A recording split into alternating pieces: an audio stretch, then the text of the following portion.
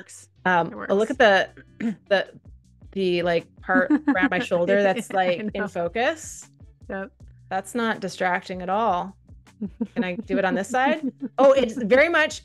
It's only if it lives within the fingers, so I can. All right, hit me, producer Potts. Collagen, collagen, collagen. It is all over my social media feeds these days. But then I hear this thing, but it's not a complete protein. So please, can you tell us what is the deal with collagen? Is like the collagen powders we see everywhere, is that really like a must have, especially for us uh, females? But like, and then what's the deal with complete, complete protein? Because I like, is it that bad that it's not a complete protein? And also, is collagen like, do we need to have it basically? Um this there's so many parts to this question. So um let me start with what a complete protein is because i think yeah. that'll help us like come down into talking about the collagen land. collagen because collagen is pretty cool. Like it is legit a, a cool thing to, to get. So um what a complete protein like what that means is it means that that food has good amounts of all nine of the essential amino acids so there's 20 amino acids that our bodies use to make all of the proteins that we we are made of. Um, proteins are like the basic, the basic like chemicals of life. Like all the all of the chemical reactions that are are keeping us alive, they're all coordinated and orchestrated by proteins. Proteins are what do all of those cool things. And all proteins in our body are made up of these same 20 amino acids, just different orders and different lengths of, of, of chain. So, of those 20 amino acids, nine are considered essential. So, these are amino acids we just can't make, we have to get them from food. Then the rest of them we can either make to some degree, so we still want to get them from food, or we can totally make as much as we need, no big deal. So we call a food a complete protein if it has like good relative amounts of those nine essential amino acids.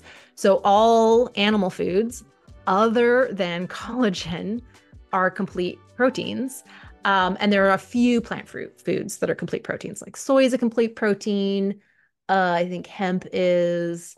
I believe I I I hold please. I have a list in here.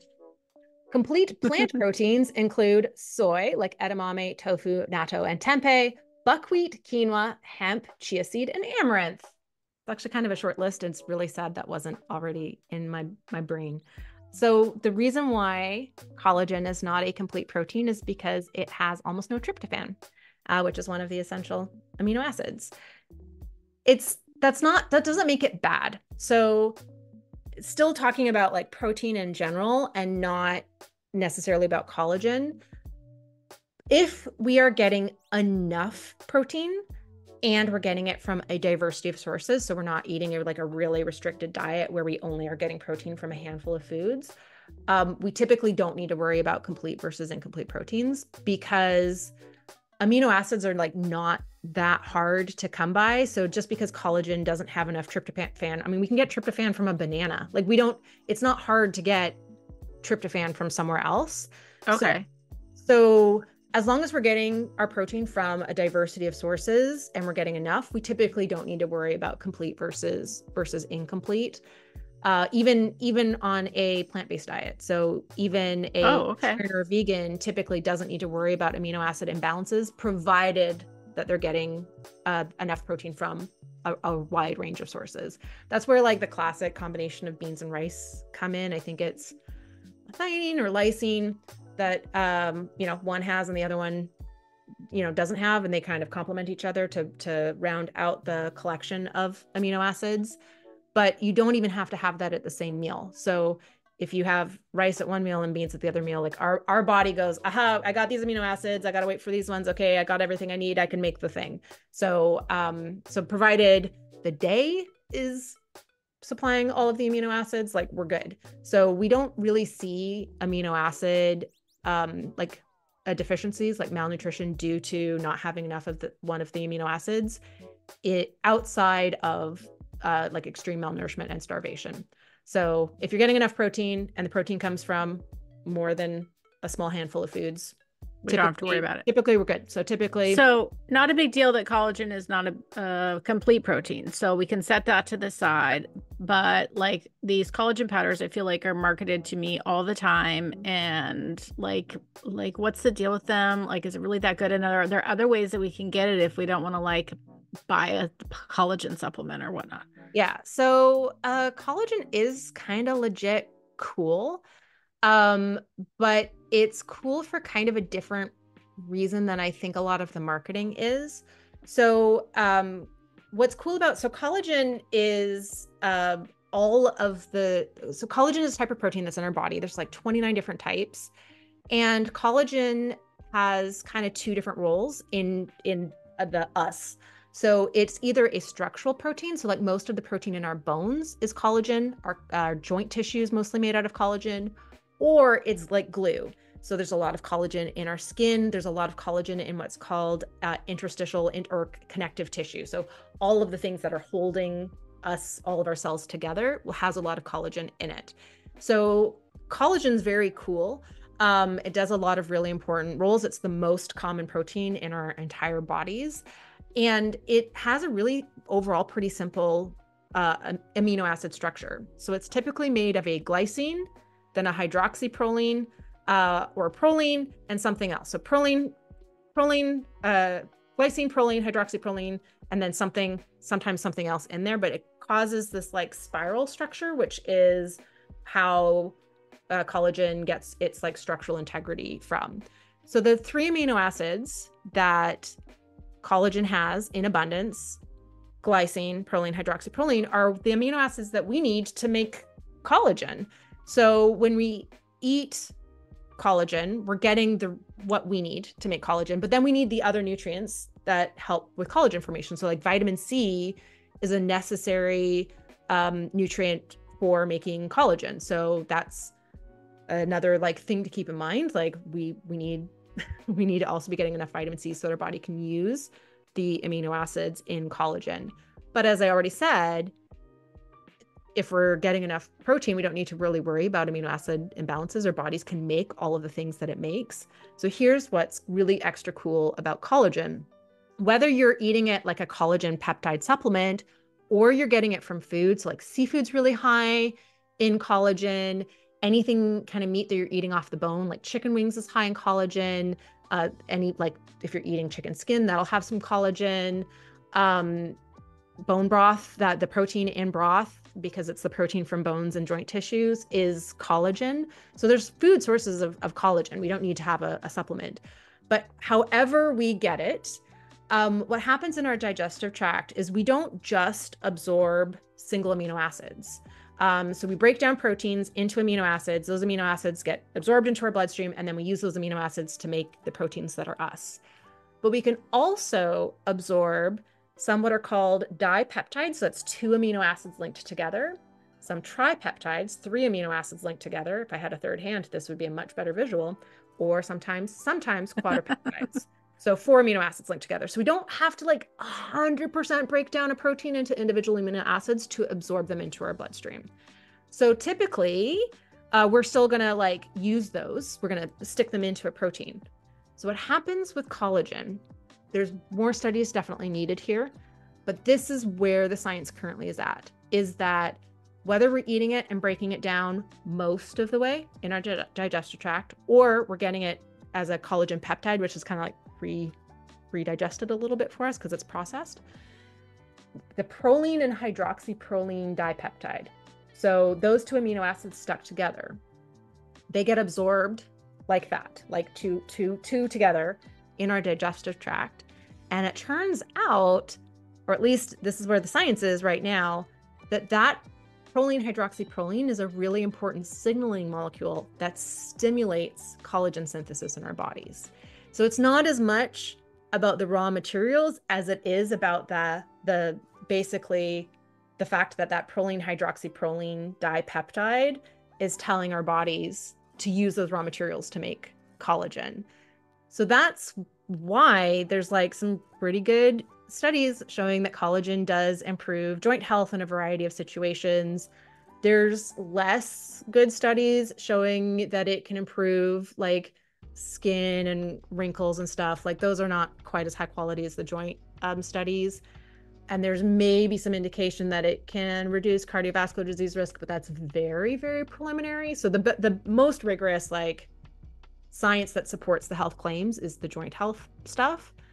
But it's very likely not just because of the raw materials in our bodies making the collagen, it's because of that dipeptide. And here's what's cool. So I already mentioned vitamin C being really important for collagen synthesis. So we still want to make sure right. we're doing that. But also, a really important stimulus for collagen synthesis is exercise. So they have studies where they're like, okay, we're going to give you this collagen supplement or this gelatin supplement, and it'll either have vitamin C or it won't. And we're going to measure collagen synthesis in your body, and we're going to stimulate that collagen synthesis by getting you to jump rope for three minutes or six minutes or whatever. Right? That sounds like, awful. No thanks. I kind of like jumping rope. Um, but but so if we're looking to like maximize the benefits of taking a collagen supplement, first of all, you don't need the expensive one. Anyone will do. They're all going to have this dipeptide in them.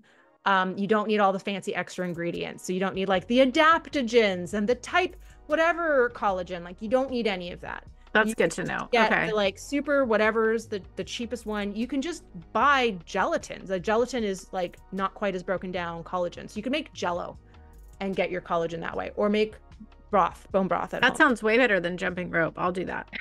Okay, so, mm, okay. So then you're not gonna like this next sentence because then I'm gonna say, then make sure you're getting enough vitamin C because that's really important for our our, our collagen synthesis. Orange Jello, got it. Check. I don't know if that has any vitamin C in it. I'm doubting. Maybe if you make it with orange juice, but that's not. What if you use like one of those Emergen-C packets to make your like gel? Okay, I'm going off script here, but like I don't know. Like there's a lot of stuff in those that's not just vitamin C though. Yeah, yeah. There's a lot of stuff. Anyways, okay. Eat my orange. Eat your eat orange, my Jello and go for a walk, Jello. essentially, right? Yes, and do okay. some kind of activity. I can do that. That's where I, I was getting. That. It doesn't have to be jump rope but right. um, physical activity is really important as a stimulus for collagen synthesis and gotcha. and that's one of the reasons why being active uh, is associated with stronger bones in our age as well as younger looking skin i love that i love that okay so basically if you're eating like a nutrivore where you're really getting a diversity of foods, you don't actually have to like super stress about this because you kind of have your bases covered when you're doing that. But if you want to focus in vitamin C, collagen, take a walk, that sounds easy enough. So, can you tell us where we can learn more about like protein? Because that was fascinating, and like more about collagen and I guess vitamin C too. Like, where can we yeah. learn more about that? So, I already referenced uh, my book because it has so much really good information in it. It actually has a whole section on how collagen can be beneficial for joint pain. It's I'm going to show it. It's called it's it's called blurry blurry book. It's it's come on come on focus focus. It, it's really refusing to focus. Joint pain, try eating more collagen. It's called joint pain, try eating more collagen. And I know you can Love read it. that. Um, yep. you, you don't need to go get your eyes checked. That is just my camera refusing to focus on anything. Uh, and it actually goes through all of the really cool sciences showing that it really can legit uh, improve um, joint health in a variety of situations. Um, and here we go. Other collagen rich foods include gelatin, offal, which I intentionally did not mention earlier. Uh, any meat you eat off of bone or that includes skin and fish and shellfish. So I, I love that. I remembered them all. Um, so uh, I go. I talk about protein, how much protein we need, complete proteins, uh, in in the book, and as well as the the benefits of balanced macronutrients. So like the relative ratio of protein, carbohydrates, and fat being within what's called the accepted macronutrient distribution ranges why that's good um, rather than like high or low, anything kind of being in that happy medium middle. But the other cool thing that I do in the book is like examine exactly how one nutrient benefits one particular health condition. So with joint pain, we're talking about not just like sports related joint problems, but also like osteoarthritis. So um, how getting more of that particular nutrient can improve that condition. And then there's a really cool appendix where I look at, uh, I actually just summarize all of the nutrients that are linked to 120 different health conditions and symptoms. So if you don't find like specifically your condition in the, the main narrative of the book, chances are really good it's in that table. Yeah. No, great reference book. Great reference book. Thanks, Dr. Sarah. No problem.